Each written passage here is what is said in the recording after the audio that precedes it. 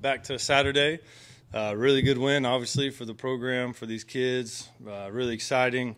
Um, but that's over, right? Um, said it'd be 24, 48 hours somewhere in there. We, we flushed that and and uh, thought we had a pretty good Tuesday practice. Um, you know, they do a lot offensively that you got to prepare for, a lot defensively you got to prepare for. So, um, big mental day for us, and and uh, we got to be sharper tomorrow.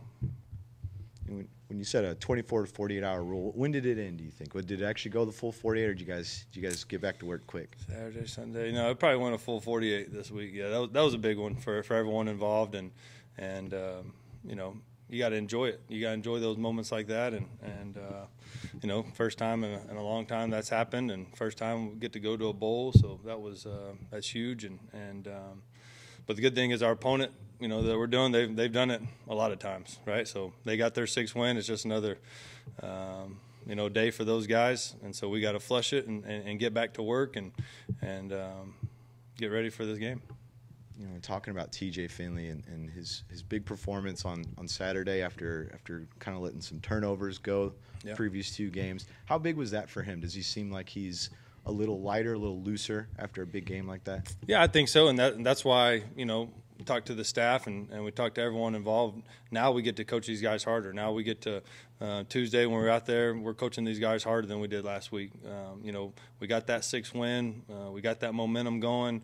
Now now is the opportunity as a new staff we get to coach them harder, and um, I think I think we're getting there. Um, you know, we still got a ways to go, but but we're really getting there. And I thought TJ played his best game for sure. He he played a heck of a game and used his legs and made good decisions and and. Uh, he's a he's a big time player. Coastal Carolina this week. They've been without their starter Grayson McCall the last couple weeks, but they've still rattled off some wins. Yeah. What is your assessment of this offense, even without Grayson yeah. McCall? We don't even know if it's going to be Guest or yeah. Vasko or what the deal is. What, what, are you What are you making of it? Yeah, I think uh, credit to that their staff. Um, first and foremost, you know, you lose the. I don't know how many times he's won the Player of the Year in this award, but you know, uh, two, three times, whatever it is, and to go out there and still win games without him. Um, you know they, they have a really good coaching staff and, and think very highly of those guys. And not only to use your backup and then go out there lose your backup and go out there with your with your third guy and go out there and, and have a career career night. So um, you know we got to prepare for all three. You don't know exactly what's going on. Um, you know if, if, if Grayson will play or, or the other guy or um, the, the last guy. So uh, we'll see kind of what happens got to prepare for all of them and and um, it'll be a big test for us. What are the, some of the challenges when you kind of don't know who that starting quarterback is, even though you you've got plenty of game yeah. film on, on both of these backups? Yeah, um, I wouldn't say plenty. You got you got a little bit of film on them. Um, you know their their offense is going to be a little. You're always going to tailor your offense to your quarterback, so it's going to be a little bit different with each quarterback. Um, obviously, you see the last quarterback come out there and rush for 180, throw for 180. I mean, that's, that's pretty impressive. He's got long speed. He's 6'3", 220 pounds, and and but the other guy came in and did a two point play, so he's available, but he's not playing. So you got to get ready for both of those guys, and then Grayson with with the head deal, you you're always going to be very cautious, and I'm sure they'll want him to get a full week of practice, and then you know see if he can go Saturday, maybe dress out, emergency type of situation, or maybe he's ready to go. I don't know, but um, that'll be for their for him and their doctors to decide. But we we got to prepare for all three and get ready for all different offenses, and and um, but I, th- I think we have a pretty pretty good idea uh, what's going to happen. On defense, what are, what do the Chanticleers kind of look like on defense? The what? The Chanticleer. Oh, is that what there? Yeah. There you go. All right. Um, they're really good. They give you multiple looks. Um, they're really well coached. They got good players.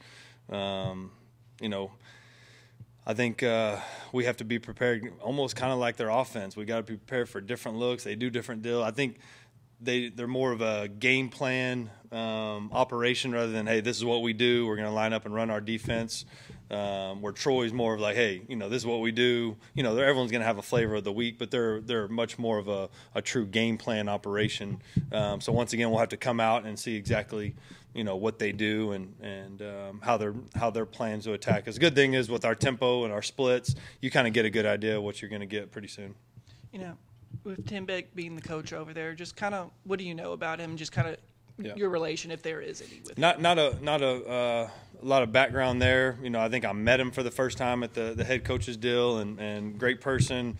Um, you know, Herb Hand, I worked with at UCF, um, always spoke really highly of him. Talked about how good of a coach he was, and and um, you know, I know he's been in a lot of big time programs, and, and you don't just you know get to those jobs by accident. And, and credit to what those guys.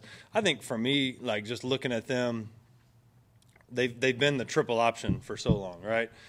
And then you bring in a whole new different culture, a whole new different offense, a whole new different way of doing things, and they're still rattling off wins. To me, that's a, a great job by the coaching staff because it's tough. You know, I remember when I went to Hawaii and they'd been run and shoot, run and shoot, run and shoot, and then you come in and you tweak things a little bit. There's always going to be some some resistance there, especially when you win. Like when you come into a place that's losing, it's a little bit easier because you know I wouldn't be here, you know, right, if, if you won. Where those guys, they won, and that guy got another job. So they, they brought in a whole new coaching staff, whole new scheme, whole new culture to a winning culture. So that's that man, that's tough. And to see what they're doing right now is is uh, pretty impressive. So, um, you know, it's it's going to be a big time. That's what I told these guys. I mean, this to me, Coastal is the, the last five, ten years, that's the team. Like when I got this job, you, you circle that thing because it's kind of like playing a Boise State. It's kind of like playing a UCF. I mean, those guys have, have I mean, they've dominated for a long time, and um, you know, so it's always it's always exciting to go and play those. And time, I mean, they got like a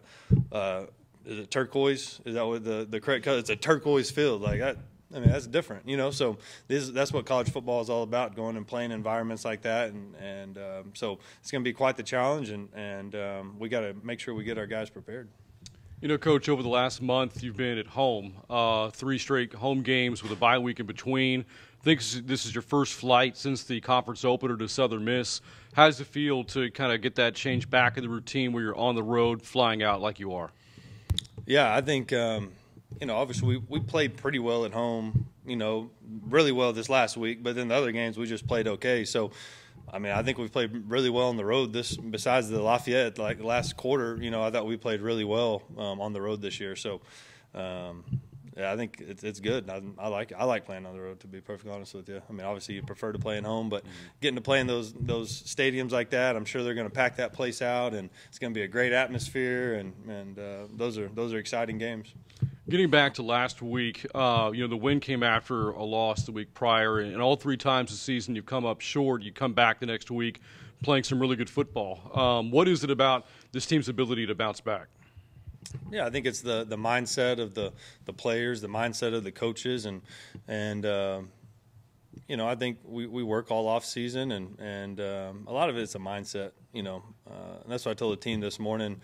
You know, you're always going to have bumps and bruises this time of year. Most teams get worse. This is about the time of year most teams get worse, and uh, we got to continue to get better you, know, you, you go back to last week, and you know after you win the game, you know the celebration on the field, and uh, obviously an historic moment for so many people involved with the program. And I know that you hadn't been here, you know, for some of the, the tough years, but did it feel like a, a corner turning moment for the program with what happened this past week?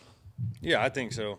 Um, I really do, and and uh, I think it was it was. Um, it was probably emotional for a lot of people. You know, it was a, probably a little emotional for me on the sideline just because, you know, you go through the interview process and you hear all this and you hear all that, and then you go out there and you get that six win, you know, in year one. I mean, that was that was emotional for me and the staff. And I think the players, we have so many new players where it was it was exciting and it was fun, but for them, it probably wasn't as big as a deal as, as it was to the probably the coaches and the administration. Maybe some of the guys that have been here for a long time um, they they understand. But a lot of these guys, their first year, like to be perfect honest, I'm gonna tell you something that, that I'm gonna I probably shouldn't tell you this.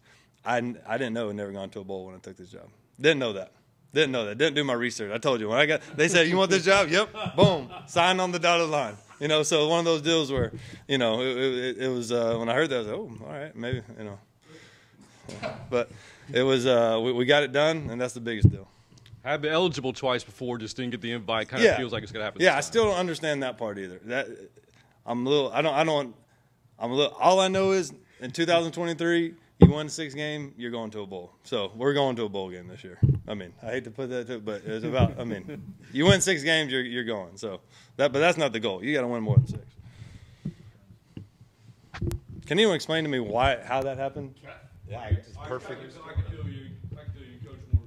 All right, yeah, I, yeah. Well, I know Brant could fill it in more, but from my understanding, too many teams got bowl eligible that year. Bobcats were one of the few left out of the party. Gotcha. There were some reasons. Was it like an benchmarks. FCS? Too many FCS games? Was it? Just not, there, were, there was three less bowl games, so Gotcha. six less teams got in. We Gotcha. were only seven win team probably in a long time. The Sun Belt only had four bowl tie-ins at the time. Now Gotcha. Six, seven, something Gotcha. like that. There you go. Um, and, you know, there's some controversy because, uh, Texas State, make sure we get this on the record. Yeah, come on. This is- So Texas State had beaten Arkansas State that year, um, and both teams finished with seven wins. But the GoDaddy Bowl took Arkansas State Gotcha. because the Red Wolves had been the previous four years, Mm. and so the bowl committee knew their fan base was going to travel and, and show. Gotcha. And uh, Texas State also finished with a better record than South Alabama. Uh, who, who finished six to six? But there was a new bowl that year, the Camellia Bowl in Montgomery, which was in South Alabama's Yeah, backyard. sense, yeah. So there was some hesitation from some of those Sun Belt bowl tie-ins. Would Texas State travel? So they got shut out of the Sun Belt bowl tie-ins, and the other bowls got filled out. You know, there wasn't weren't as many then as there are now, and so it was extremely disappointing back then. And personally, I feel it, it kind of set the program back, and they didn't fully recover until last Saturday. Yeah, that's that, that's great information. I appreciate that. That was good. Well, we're gonna travel this year, guys, so that'll be good. And also, Fran was the coach, and uh, they didn't. They don't like him too much in Alabama. That was part of the reason. There you go. you can cut that one. Is that like you can cut is that, that like one? a conspiracy theory right there? oh yeah, you know it. Tin, Message board. tinfoil hat. Tinfoil hat like on it. that one. I like it. Uh, but and a Chanticleer is a chicken. It's a rooster, by the Okay. way. Mythical. Is it mythical? It's from Jeff, Geoffrey Chaucer's Oh. It's a mythical bird.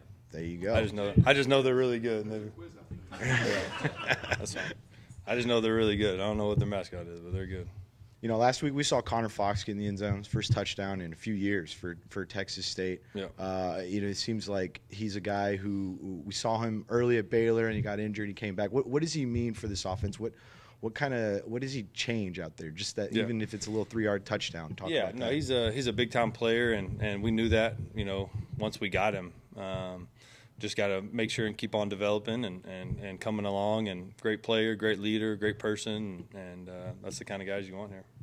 You know, coming up for, for this week, you were, you were talking about their their offense and how they kind of their their scheme is almost dependent on what your scheme is defensively. Does that change up what you do, knowing that they're going to just respond to, to what you give them on You the talking field? about their defense versus our offense? no, uh, vice versa. Their offense, their versus- offense versus our defense. Mm-hmm. I think it's more predicated on who their quarterback's going to be. You know, because you you got to work those things and you got to figure out okay, what what is this quarterback really good at, and and what is he comfortable with, and um, so those those are the things that you know when you talk about a lot of game film. There's some game film, but obviously there's more on Grayson because I'm sure just like when I went to you, they're they're going to incorporate some things that they did previously at Coastal with Grayson, where you know, and and combining it with what they do offensively, um, kind of in that bridge year, and then and then you see these other quarterbacks get in here, and it's all right. What what does this guy do really well within our system? What does this guy do really well within our system? And let's put this guy in the the best opportunity to to go out there and win games, and and that's what that's what I think they did such a good job of the last you know two weeks or whatever it is that when you have those backup quarterbacks, those guys went out there and performed, and, and, and you're winning games. in this conference with, with backup quarterbacks is, I mean, that's, that's tough to do. You know, with this defense, a very solid perform, especially how high powered Georgia Southern is. How, how do you feel like this defense is finally finding its footing, especially late Yeah. in the season? Yeah, I think so. I mean, uh, I think in this league though, you got to bring it every week, and everyone you know has different schemes and and different uh, strengths and weaknesses, and I think you know kind of what Coach Packy does and that that staff. I mean, they do a good job of game planning week to week too, and and we're always going to have a, a good flavor of the week, and and um, you know, same thing. Attack those things that, that they do well, and um, know what the the previous opponent did to you, and and know that they're going to run some of those things, and, and work on those things, and, and just being real with yourself, and and um, and it changes every week to week. You know, with your injuries too, who's available. So, um, I think our defensive staff does a really good job. I think we got some talented players that are playing hard and inspired, and and um, we got to continue continue that if we want to win. You know, speaking on, on, I asked about Fox earlier. Is he playing this week? It looked like he got banged up, but that may have been Latham number nine. I wouldn't. No, sure. Con- Konnor will be a week to week type of deal. Um, you know, he was out there today, so we'll see. Um, kind of kind of more of a you know we'll just kind of have to see, wait and see on that. I don't want to say yes or no and then you know not happen. About Latham? I know he's Latham, he'll be week to week as well, same type deal.